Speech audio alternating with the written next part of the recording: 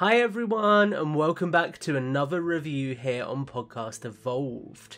Today we are taking a look at what is arguably the flagship item for the fall of 2021, UNSC Wasp Onslaught. This set retails for $37.99 here in the UK, where I was able to purchase it from my friends over at Jurassic Toys. If you find yourself enjoying this video, make sure to like it and also subscribe to Podcast Evolved as we're going to have plenty more Mega Construx content coming your way soon. The box art for this set really stands out, with a scene which feels like it could have been taken directly from the game on the front cover. We have plenty of detail providing a great look at what is included in the box, and the back of the packaging includes some additional looks at the features and the figures included within this set. It's worth noting that the back of the box also includes a look at both the escape helmet and also the banished chopper takedown, the latter of which Gabe recently reviewed here on the channel. It's worth noting that the new box format which Gabe mentioned in his review of the chopper set continues for the Wasp, with the set opening upwards to allow you to access the bags of blocks within. When we open the setup and get it constructed, you can see that we get four figures, a plasma battery in banished colours, a shade turret, and also the wasp itself. Let's start by taking a look at those figures. Up first is the Master Chief, with this version of John coming in a more lime green colour, consistent with that seen on Spartan Jerome from the 20th anniversary pack. I personally think that this colour is slightly too bright and vibrant for Chief, although it is worth pointing out that this figure does have some nice additional printed detailing, particularly on the chest, the codpiece and also the shoulder, which help to set him apart from other variants of this character released so far. I like it, but it's safe to say that it's not my favourite version of Chief that we've received so far. Next is the UNSC Marine, a figure which collectors will be more than familiar with at this point. This figure is the basic female marine, meaning long sleeves, no uh, alternate colour torsos or anything like that, although she does include the Miranda Keyes head sculpt with a sandy hair colour. This head sculpt is great, and it's clear just from looking at this with the alternate colour that it's going to work very well for Miranda. It's also worth noting that you can put the figure's helmet on, and none of the paint applications on the hair are going to rub off, which is really, really good. Alongside the Marine, we also have a brand new version of the Grunt Conscript, this one coming in a dark blue colour. I love the colour variation here, and I think it's worth noting that the inclusion of both the plasma pistol alongside two plasma grenades for this grunt is really, really nice. Lastly, but by no means least, we have an absolutely beautiful brand new version of a hunter in a banished style colour scheme. This figure uses a much brighter silver colour than the version included in Pelican Inbound, and it also has different paint applications and highlights. I love the inclusion of the banished emblem on the hunter shield here, and I also think that the other details across this figure are handled really nicely. This feels like another really premium addition to the lineup of hunters we already have in our collection, and it is absolutely a figure that you will want multiples of. We also get a plasma battery in the Banished Crimson colour here, a nice new variation on an accessory which I would love to see more of in the future.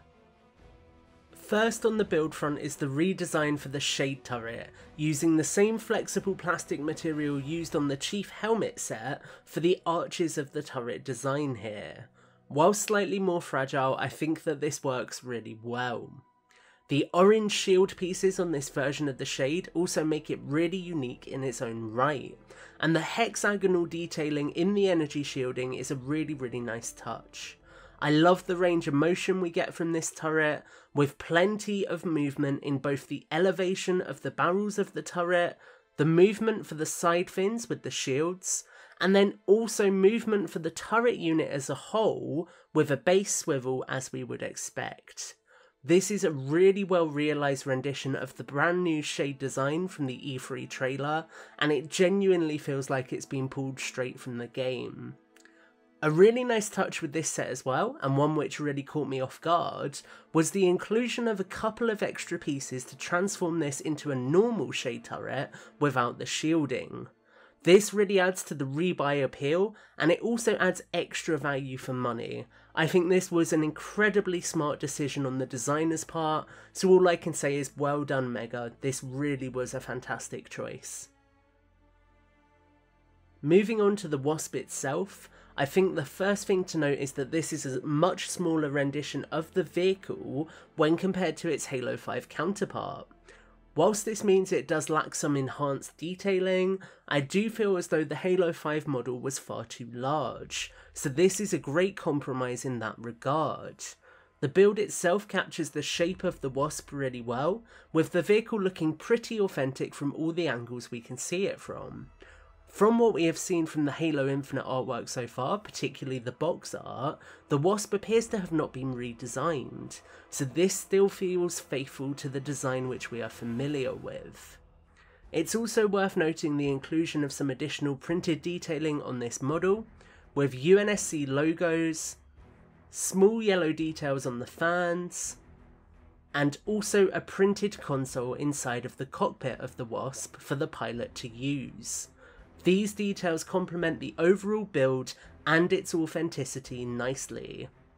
In terms of functionality, there's a lot packed in here.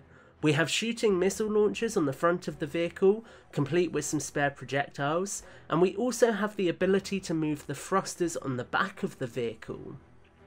The key detail here, however, is the movement of the rotors. They are on a brand new, almost ball joint style mount, which allows you to get 360 degrees of movement out of the rotor unit, achieving far greater functionality than the previous build. This is a great improvement, especially as the new build technique still maintains the ability to spin the turbines individually as well. As we would expect alongside the turbines, the cockpit itself can also be opened, and either Master Chief or in this particular instance the included Marine can be placed inside of the vehicle. My only real issue with the Wasp is some unsightly gaps alongside the cockpit. It may be that I built this element wrong, but I am confident that this is how it should look, and the gaps between the cockpit and the body of the vehicle can be a little jarring. Despite this issue, the build itself was a lot of fun, even if it is more refined and less detailed than its predecessor. Overall, Wasp Onslaught is a fantastic playset and a great flagship set for the full wave. It's a nice chance for fans who missed the previous Wasp set to get their hands on one, and it also includes some great figures which fans will love, plus a highly improved model of the Shade Turret. Whilst I have some small gripes, like the gaps in the build of the Wasp, or the fact that a pilot helmet could have been included here for people who missed the gear pack, I think that these small gripes are far outshone by the potential this set offers. It is the perfect versus pack, and it is absolutely a set which I will buy a couple of, as it's a fantastic army builder for people who like to army build to really sink their teeth into. That's my thoughts, but we'd love to hear from you. Let us know your thoughts in the comments down below, and as always, everyone, evolved.